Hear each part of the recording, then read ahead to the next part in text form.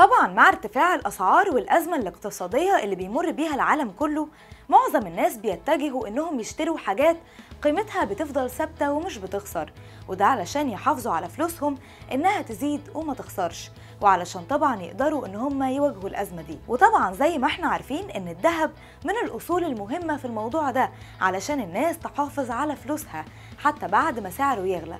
طيب إزاي هنقدر نستفيد منه ونكسب كمان؟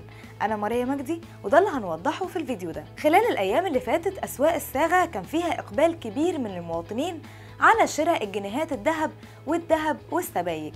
والجدير بالذكر إن خلال الوقت ده الأسواق بتعتمد على الذهب اللي موجود بس علشان مفيش استيراد أو تصدير بسبب سياسة الترشيد.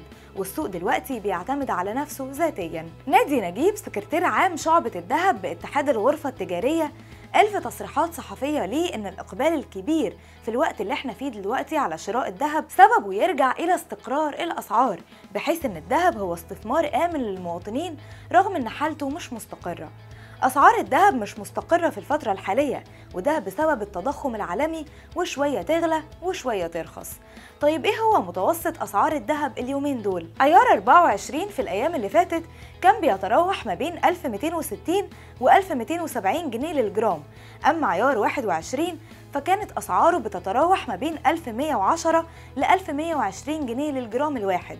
وبالنسبة لعيار 18 فكانت أسعاره بتلعب في الرينج ما بين 950 إلى 960 جنيه وعيار 14 كان بحوالي من 740 ل 750 جنيه للجرام الواحد.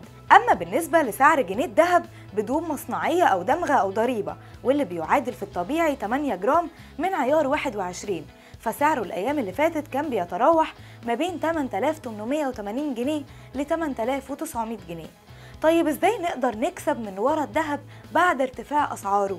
لازم نبقى عارفين إن سعر جرام الذهب مش بيقتصر بس على سعره المعلن لأ ده كمان بيتضاف عليه المصنعية وضريبة القيمة المضافة وبكده سعر الجرام عند الشراء هيعدي أكتر من 1200 جنيه. طيب إيه أفضل الطرق اللي نقدر نستثمر فيها الذهب علشان نحافظ على قيمة الفلوس المتشالة؟ وكمان نحقق زيادة. أغلبية التوقعات دلوقتي بتوضح إن أسعار الذهب هتفضل تغلى بدعم من سياسات البنوك المركزية التحفظية وده على مستوى العالم كله وسط استمرار ارتفاع معدلات التضخم.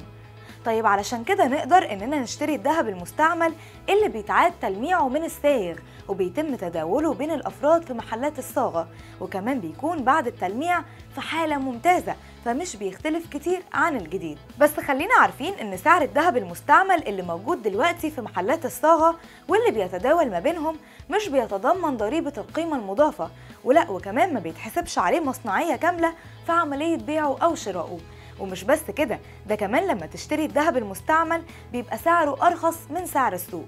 وبكده لما تيجي تبيعه تاني مش هتخسر لا المصنعية ولا الضريبة من قيمته. فبكده هتقدر إنك تحقق أكبر ربح ممكن من شراء الذهب المستعمل لما سعر الذهب يغلى أو يرتفع سعر الجرام في السوق.